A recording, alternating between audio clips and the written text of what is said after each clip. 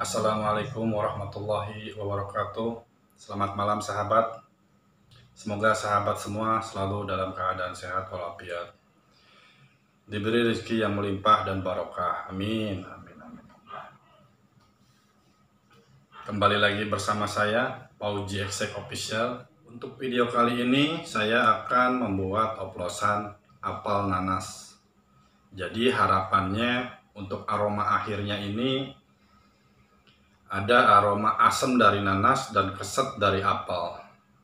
Dan ada sebagian tambahan bahan-bahan yang emang dikhususkan untuk musim hujan sekarang ini. Bagaimana prosesnya? Silahkan disimak. Ini adalah bahan-bahan yang akan saya gunakan. Yang pertama, ini adalah esen apel. Kalau di tempat esen biasanya disebutnya esen apel hijau. Jadi nggak wangi tapi keset aromanya ada keset. Terus ini essential oil lavender. Ini tenggiri water base ini vortex vortex tuh pisang ambon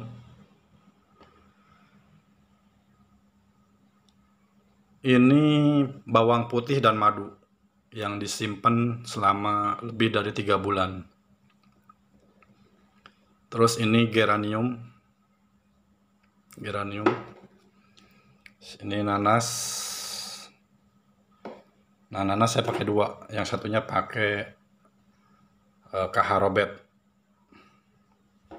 Terus di sini ada pasidol, obat batuk, obat pilek anak terus sama alpukat pasta alpukat merek kupu-kupu dan esen sereh untuk bahan yang saya gunakan saat ini mungkin ada sahabat yang akan bertanya kenapa pakai bawang putih dan madu dan paracetamol? Jadi harapannya adalah dengan adanya kedua bahan ini selain esen ini bertujuan untuk menipu juga akan dianggap obat karena kedua bahan ini mempunyai paracetamol yang tinggi yang dapat menurunkan demam dan mengurangi rasa sakit. Jadi harapannya dengan kondisi cuaca yang sangat dingin, terus ikannya juga agak pilek, agak sakit. Nah, dengan adanya bahan ini si ikan ini lebih sehat di area lapak kita. Jadi ikan ini mau makan. Terus di sini saya pakai dua esen nanas, beda merek ya. Kenapa saya pakai dua? Karena esen yang satu, yang nanas yang ini, ini aromanya tidak terlalu menyengat. Dalam artian sangat kalem sekali, sangat soft. Karena saya ingin aroma nanas atau asam dari nanasnya keluar jadi saya oplos dengan merek Harobet ini aromanya lebih kuat asamnya. Nah, makanya kenapa saya pakai dua. Mungkin ada yang bertanya juga Kang kenapa nggak pakai PG jadi untuk kali ini saya membuat oplosan semua bahannya adalah water base. Jadi bahannya semuanya water base termasuk tenggiri. Ini tenggiri water base ya. Ini tenggiri water base, bukan tenggiri oil base. Walaupun amisan. Sama ini pisang ambon. Jadi pisang ambon ini dia jenisnya alkohol base. Pisang Ambon di sini saya gunakan tujuannya bukan memberikan aroma pisang Ambon, tapi untuk mendorong aroma dasar. Makanya cuma butuh sedikit. Ini pakainya dikit. Jadi nggak memberi aroma, tapi mendorong karena bahannya alkohol base larut di udara. Jadi nanti aroma yang kuat itu yang akan didorong oleh pisang Ambon. Nah, seperti biasa, karena ini adalah oplosan baru, prosesnya seperti biasa dicium dulu satu-satu, terus diperkirakan aroma apa yang akan kita buat, dan diperkirakan bahan-bahannya, seberapa banyak yang akan digunakan. Jadi, tadi sebelum buat konten, saya udah oret-oret dulu. Nah, ini jadi semua bahan ini dilarutkan oleh pasta alpukat. Kenapa saya pilih alpukat? Karena aroma alpukat sama ada aroma keset-kesetnya. Oke, kita akan coba oplos sekarang. Ya. Di sini apel 20 mili berarti apelnya 20 mili apel hijau ya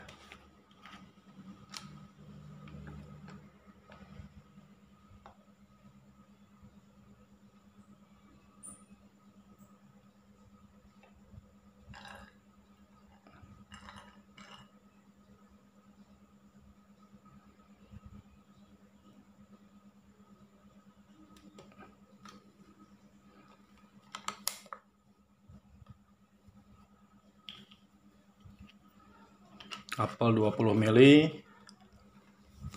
Nanas biasanya 7 mili. Nanas.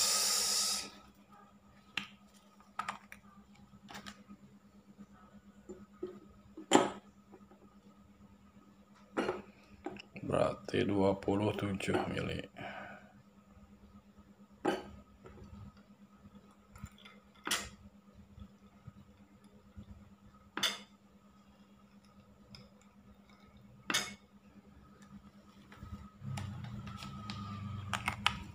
terus nanas kaharobetnya 3 mili.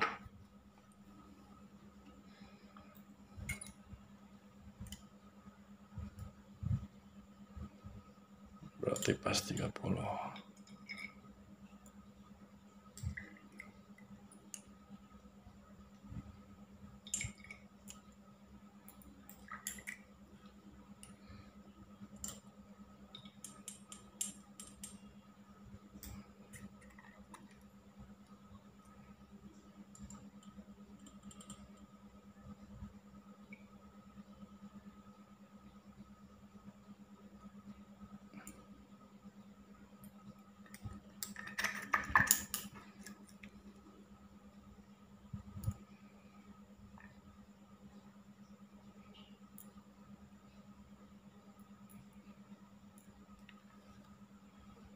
geranium 5 mili. Geranium.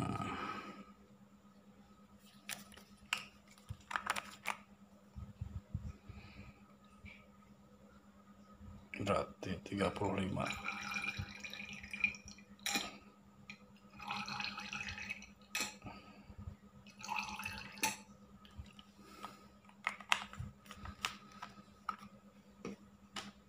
pisang ambon 1 mili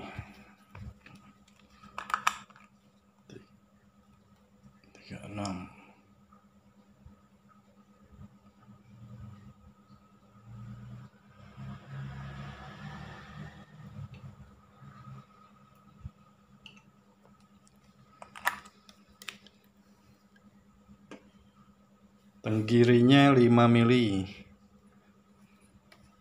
Berarti 41 ini totalnya bikin 50 mili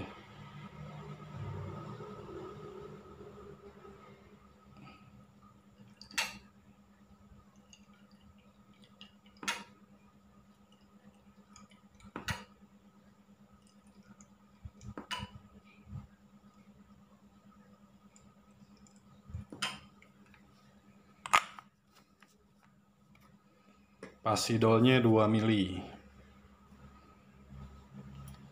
berarti 43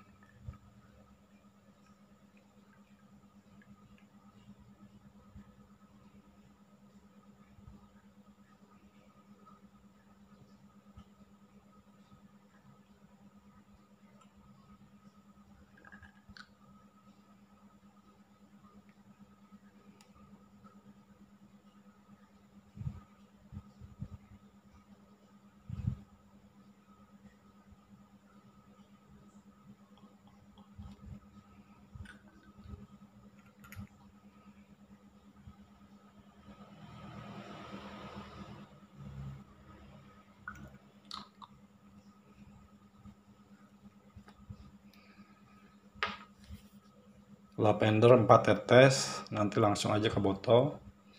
Madunya 5 mili.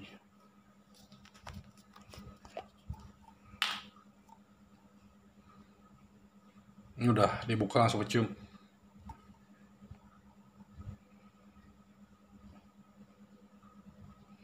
Lima mili berarti empat delapan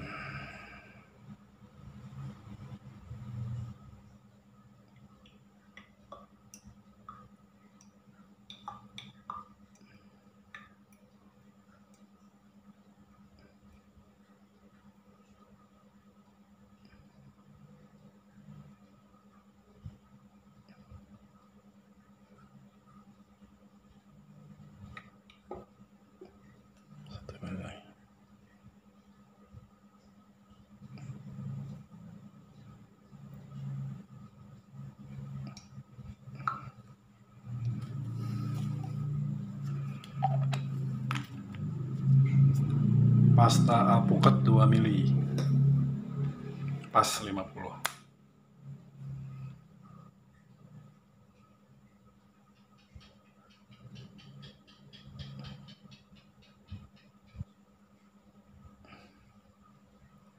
kita tinggal masukkan ke botol. Ini botol 60 mili ya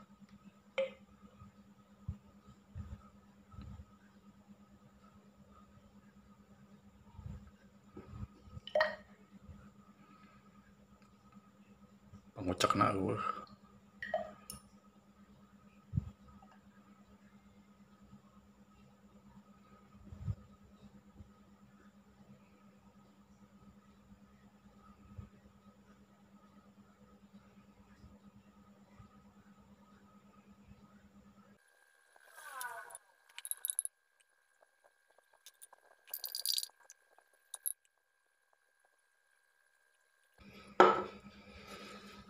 Nah, tinggal dikocok.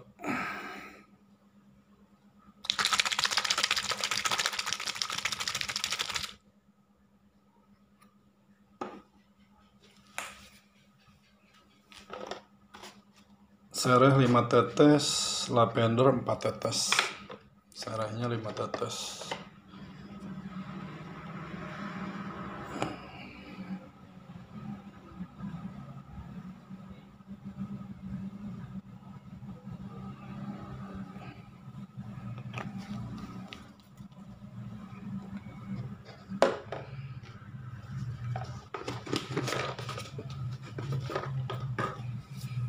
Lavendernya 4 tetes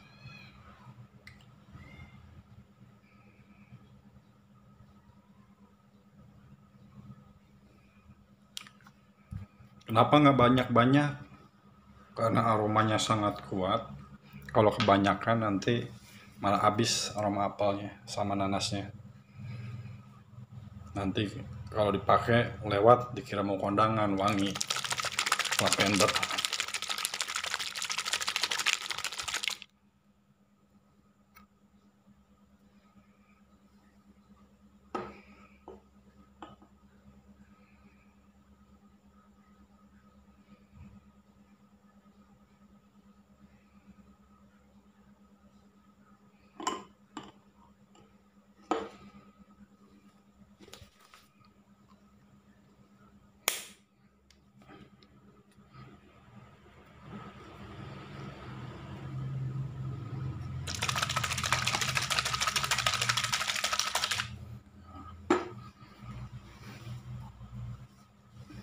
sebenarnya kemarin udah bikin juga.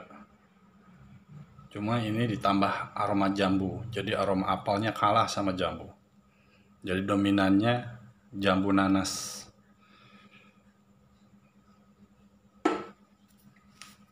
Tadi adalah proses pembuatan oplosannya dan ini oplosannya udah jadi 50 ml. Kita coba aromanya. Bagusnya sih jangan langsung dipakai kalau habis ngoplos. Minimal simpan sehari. Jadi biar lebih homogen. Bisa campur tasnya sini ya. Kayak parfum.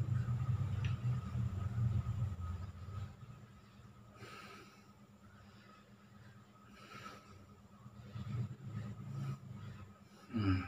Jadi aroma dominannya aroma apel sama nanas cuma kasetnya kurang keluar. Jadi malah wangi apel nanas sama lavender lavendernya 4 tetes juga masuk karena dia essential oil. Jadi oplosan ini sebenarnya tidak hanya untuk ikan mas. Bisa juga bisa juga untuk ikan nila. Ikan nila terus uh, ikan patin sama ikan tawes. Tergantung umpannya karena fungsi esen adalah untuk menipu ikan agar ikan ini mau datang cepat datang atau cepat menemukan umpan. Makan tidaknya kembali ke umpan. Dan ada sebagian sahabat yang suka bertanya Kang oplosannya bagus nggak kalau saya pribadi oplosan yang saya buat itu saya anggap biasa aja. Jadi dibilang bagus enggak dibilang nggak bagus juga enggak. Biasa aja. Kenapa biasa? Karena yang nomor satu itu adanya di umpan bukan di oplosannya. Jadi perbaiki dulu umpannya baru oplosannya terus untuk uh, video selanjutnya saya akan coba menjelaskan untuk dosis dosis penggunaan dan efek esen pada ikan jadi pada indikator pelampung. Untuk video kali ini sekian. Mudah-mudahan ada informasi yang bisa diambil manfaatnya. Jangan lupa jaga kesehatan terima kasih. Wassalamualaikum warahmatullahi wabarakatuh